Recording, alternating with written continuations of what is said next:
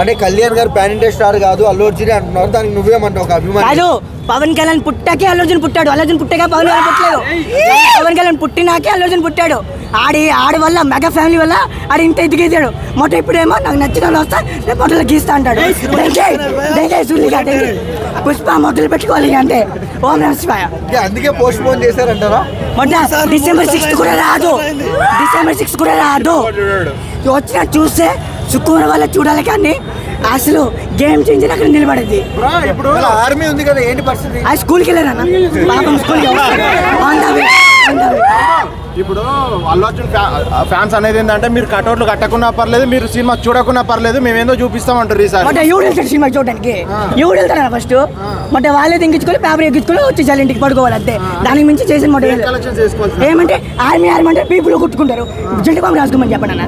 జెండు కొమ్మ రాసుకోమని చెప్పండి. ఎలా ఉంటుంది మరి పుష్ప మెగా ఫ్యాన్ చూడకపోతే? మొట్ట అంతే ఓం చెప్పాను కదా మూడు నామాలు పెట్టుకుని దగ్గర ఇంటికి. మూడు నామాలు పెట్టి ఇంటికి చిరంజీవి లేకుంటే అల్లు అర్జున్ వచ్చాడా? చిరంజీవి చెప్తున్నా కదా చిరంజీవి పవన్ కళ్యాణ్ పుట్టాక అల్లర్జున్ పుట్టాడు. అల్లర్జున్ పుట్టాక చిరంజీవి పవన్ కళ్యాణ్ పుట్టలేదు. వాడి వల్ల ఈడు వచ్చి మొట్ట ఏదో పీక్తానే వెళ్ళిపోతే దెంగెత్తండు మెగా ఫ్యామిలీ లేకపోతే మొట్ట పీకి అది దేకడే దేకడానికి?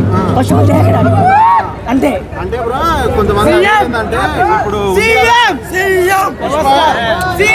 అన్నా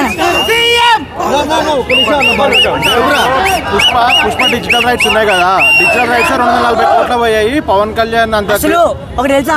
ఇప్పుడు సోషల్ మీడియాలో కూడా వస్తుంది కదా అన్న అప్పుడు ఇప్పుడు పుష్ప ఇప్పటికి ఇక కొనట్లేదు.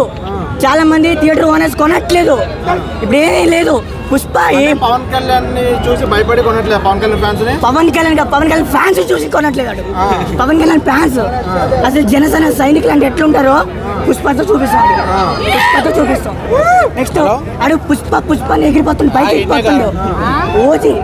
పుష్ప అది ఓకే. పక్కన పెట్టండి. ఒకసారి ఓజీ వచ్చాక థియేటర్ ఎట్లా ఉంటుందో నెక్స్ట్ మీరు ఇంటర్వ్యూ తీసుకుంటారా? అప్పుడు తెలిసింది. రోజు వస్తే అందరు జీలు బయలుపోతాయి. జైలు కాదు. ఆ పుష్ప పుష్ప ఎగిరిపోతున్నారు కదా. ఆ గాలిపటాలు తింపెడతాం అంటే కిందికి రావడానికి పక్క రావాలంటే అంతే ఇక.